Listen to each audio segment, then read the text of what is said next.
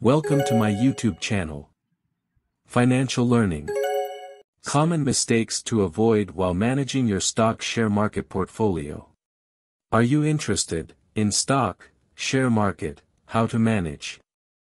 If so, it's important to be aware of the common mistakes that can be made when managing a stock portfolio.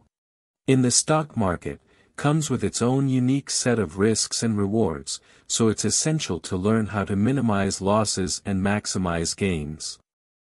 In this video, we will discuss the most common mistakes to avoid while managing your stock share market portfolio. Number 1, not reviewing regularly. Number 2, not knowing when to sell. Number 3, not having a set strategy.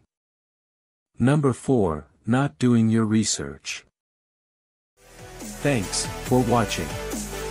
For more updates please, like, comment, and subscribe.